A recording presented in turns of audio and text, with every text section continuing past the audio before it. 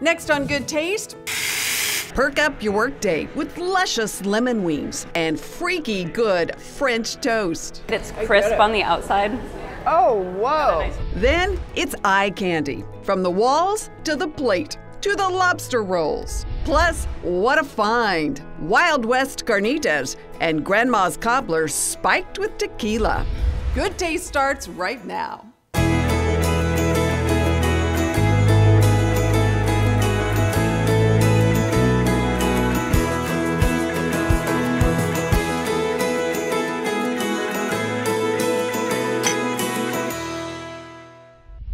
Hi, everyone. Welcome to Good Taste. I'm Tanji Patton. What a view, right? We're coming to you from the rooftop bar at the Fairmont Hotel in downtown San Antonio. Next time you're downtown, we found just the spot. Incredibly fresh coffee and fantastic food. Say sayonara to the suburbs and head to the city, where San Antonio's coolest coffee clatch has come of age. It's really different from anything else that you would find in San Antonio. It reminds me actually of a place that I love in, in Manhattan. Rosella at the Rand feels like an urban bistro you'd expect to find in New York or LA. With fresh squeezed craft cocktails, That's really refreshing. a classy, craveable menu packed with French flair, and breakfast served all day. Oh, this is a wow. It really is. is one of the premier coffee shops here in downtown. Rosella started a few years ago as a local Java spot, pouring killer coffee and plating up a few light bites. We do our own coffee. We source it and have it roasted in Austin uh, by a roaster, Austin Roasting Company. Now, Rosella has rocketed into an inviting restaurant. If you want to make a deal, or if you want to innovate, or you want to be creative, this is where we have our meetings. These chic downtown digs, tucked inside the century old Rand building, are the perfect place to perk up your workday. With its custom light fixtures, wraparound booths flooded with natural light, and illuminated gold wall. I know that Tom has spent a lot of time crafting an environment in which people can come and relax and have a great time. She's talking about former San Antonio rocker turned record producer Tom Schleining. I lived in Los Angeles uh, on the West Coast most of my adult life. I ran a record label at Universal for years. Well, you And play in a band too, right? I do, I do. Um, play drums and uh, played music most, most of my whole life, so I've always had a real passion for music.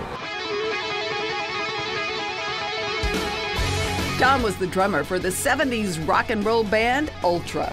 Our claim to fame was opening for the Sex Pistols. When they uh, went on tour in the U.S., they played a date in San Antonio at Randy's Rodeo, of all places. And, uh, What was it about San Antonio that made you want to settle here? it's where I'm from. It's my hometown. It's always been a great city, but I think now it's it's on the precipice of really going to the another level, and I think it's exciting. It's exciting to be a part of that.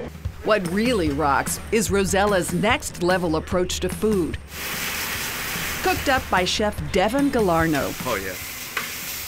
Like this juicy grass fed burger, topped with layers of fresh ground sausage, Swiss cheese, and an over easy egg.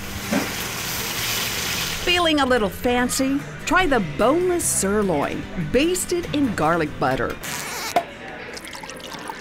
Bubble up your weekend with Rosella's Sunday brunch, Cheers. starring luscious lemon ricotta blueberry pancakes. So it's got a nice tartness to balance out the sweet. Now for the real showstopper French toast made with conchas, Right, it's crisp it. on the outside. Oh, whoa. Got a nice crunch to it. This so exceeded expectations. That's amazing. The wings are something worth raving about too. Get the lemon pepper wings drenched in lemon aioli or with their soon to be famous hot sauce. And what makes these hot wings different from These hot wings are going to be a little bit different and have a lot of different flavor. So right now I'm putting in some garlic powder in. What makes these bronzed beauties sing is that they're brined before they're baked. We have a one to one to one ratio of salt, sugar, and honey with a lot of water. After marinating in the brine for 24 hours, we bake them off. So it's going to retain so much juice and flavor out of the wings. So it's quite a process. The little wings get a lot of attention before they, do. ever hit your plate. They do. Tabasco is the base for the hot sauce. That's a lot of Tabasco. And then the goodness of Oh, yeah. nature's sugar, honey. Honey. Eat more Texas honey. Gotta support the bees.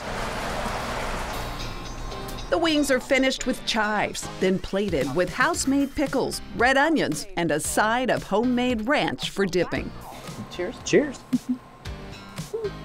Oh, those are good. Super flavorful, super Mm. juicy. You get the honey and the Tabasco in there, and the salt. It's good.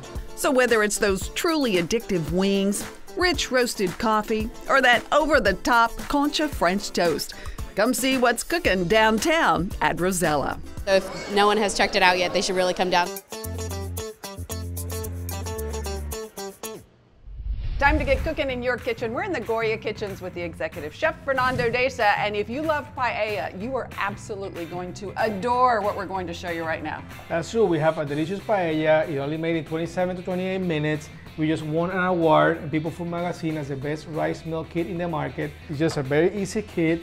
We got rice, sugar and rice, with all the ingredients that you need to make the perfect paella. Then we have this little can with all the seafood that you need, and then you can enhance it and add all the ingredients that you want. How fun. You can make Okay. it your own or just take it right out of the box. All right. So we're gonna season the chicken and the shrimp. So we're gonna add some olive oil. Okay, how much?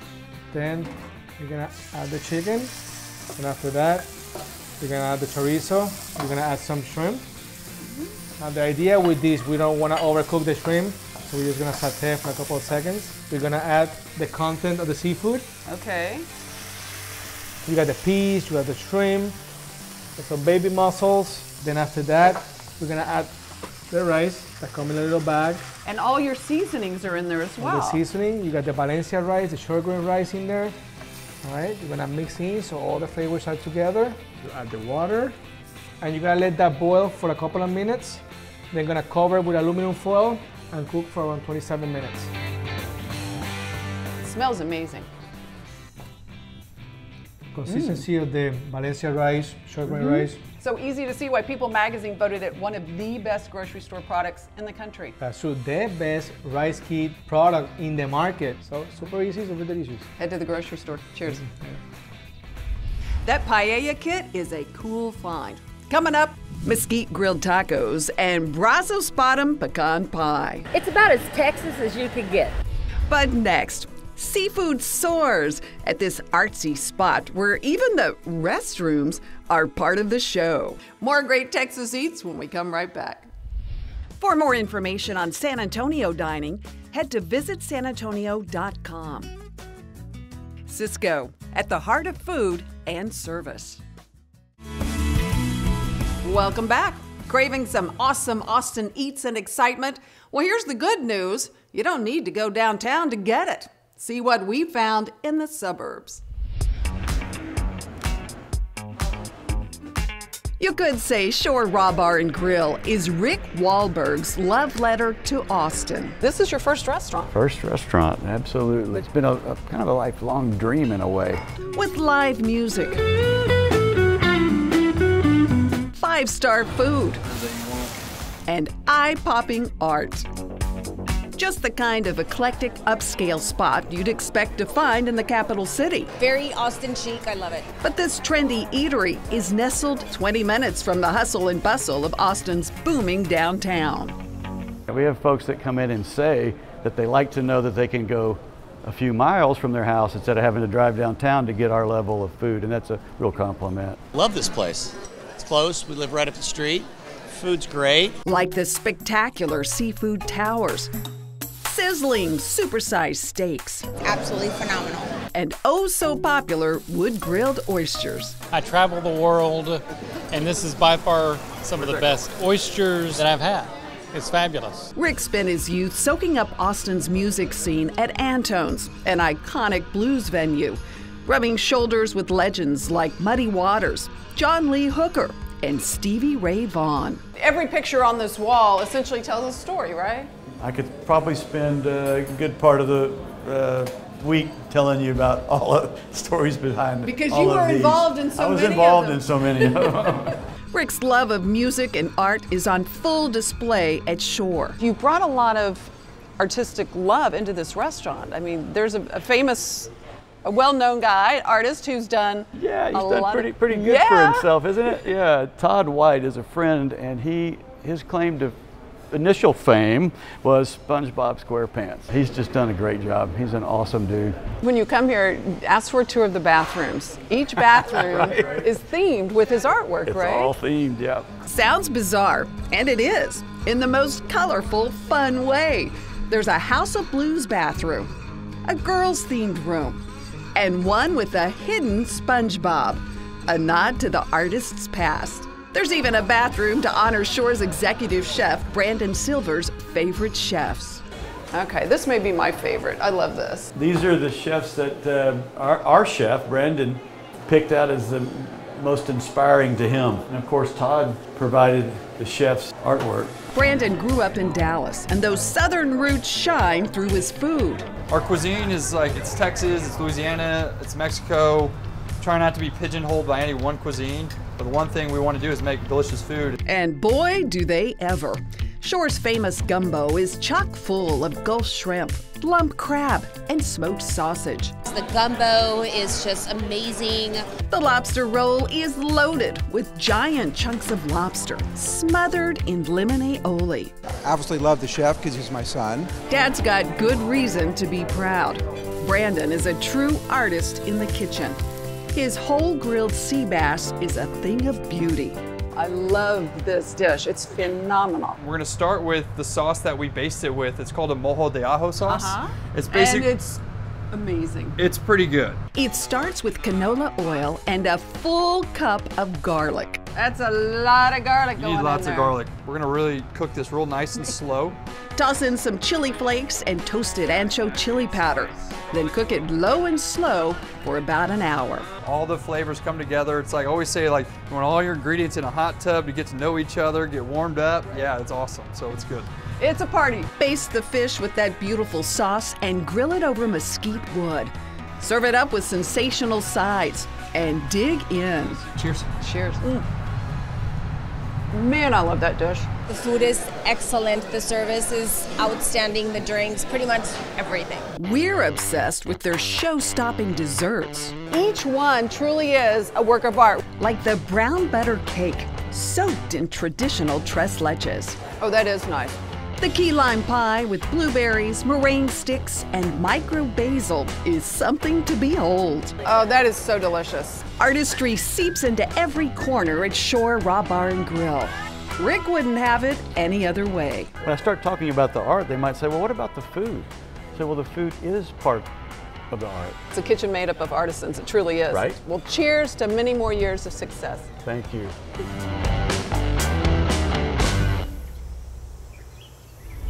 Coming up, spruce up your holiday meal with bubbles in my wine finds. But next, this dance hall dishes up tasty tunes, tempting tacos, and a ton of Texas tradition. It's the best of the West. Next, we'll be right back.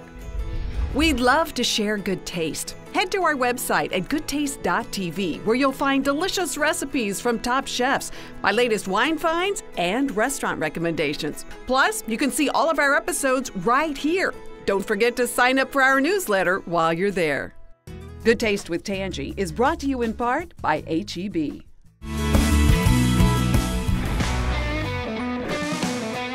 Kick up your spurs.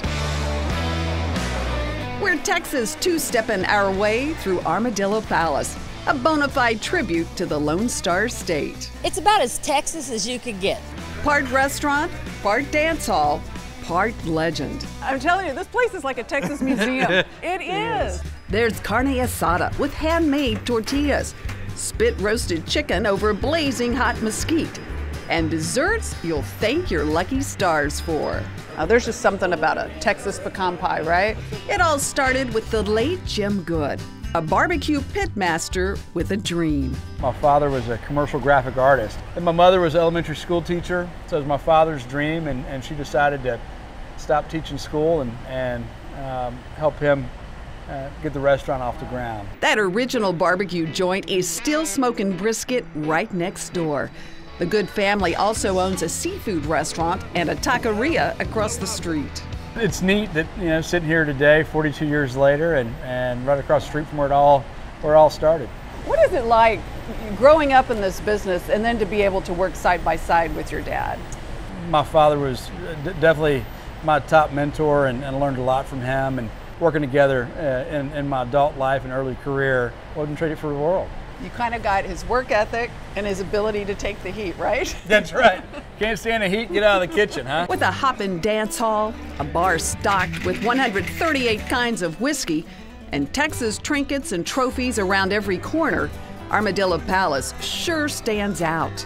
It's really a slice not only of Americana, but it is just puro Texas, you know? It is, it is. Levi and his dad built memories together, driving around the American West, picking up old Western odds and ends to add to the palace. Everything in, in the space here is all you know, stuff we've personally collected and and curated over many, many years. It was in Cody, Wyoming, where they stumbled across their biggest find. While we're kind of driving around the outskirts of town, we look over and this armadillo sitting in the back of this gravel parking lot.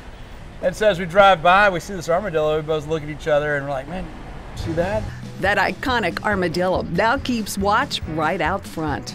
Levi's favorite find is this century old longhorn. It actually hung on the wall um, in this saloon in downtown Waco at the turn of the century. Uh, fight broke out, guns blazing, and this, this longhorn came uh, off the wall, landed on the piano player, and killed him.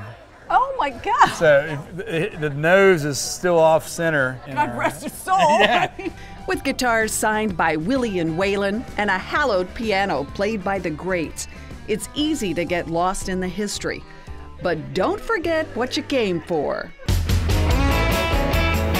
The buttery redfish on the half shell is a good family standout. For adventurous eaters, the Heritage Pig's Head Carnitas is a showstopper. Everything here has always been really good. That goes for desserts too, like the chocolate soaked Texas sheet cake. That's a really, really good sheet cake. Yes. Strawberry tequila cobbler. It's okay, huh? That's fantastic. And Levi's grandmother's famous Brazos Bottom pecan pie. It's really good. Your grandma was a good cook. She was. Levi knows his way around the kitchen, too. His carne discada is a time honored Texas tradition. It's uh, named after uh, a plow disc. They would get these old beat up plow discs and uh, would repurpose them in the, in the cooking over mesquite, hot mesquite fire like we're doing today. Kind of like a cowboy wok. That's exactly right. right? Yeah. Roast up some veggies for the salsa. Kind of feels like a modern cowboy cookout. then fire up the skirt steak. Crush up the vegetables, then mix in the meat. I'll tell you though, the aromas coming out of that pan are amazing. That discada. Discada. Pack it in a tortilla, and you've got a true taste of Texas. Cheers, cheers, cheers. Carne discada. It was really good. Even if you're not a true Texan, you're gonna feel like one at Armadillo Palace. It's anti chain. It's just who we are, and I really enjoy being able to be in a place to share it with the community. It's the perfect ode to Texas. Thank you. Cheers. Here's to you. Thanks for having me.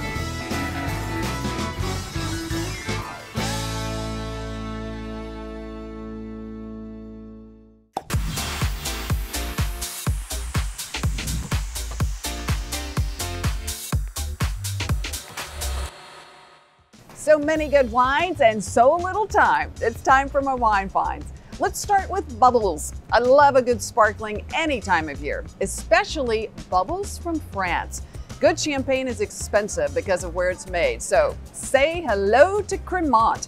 This is the Cremant de Limoux, made near the Champagne region of France, where monks were making this wine back in the 1500s. The sparkler is fabulous to this day and can hold its own to a fine champagne for less than half the price. The Chateau de Villon Cremant de la love my French, is only $19.98 a bottle. It really is fantastic.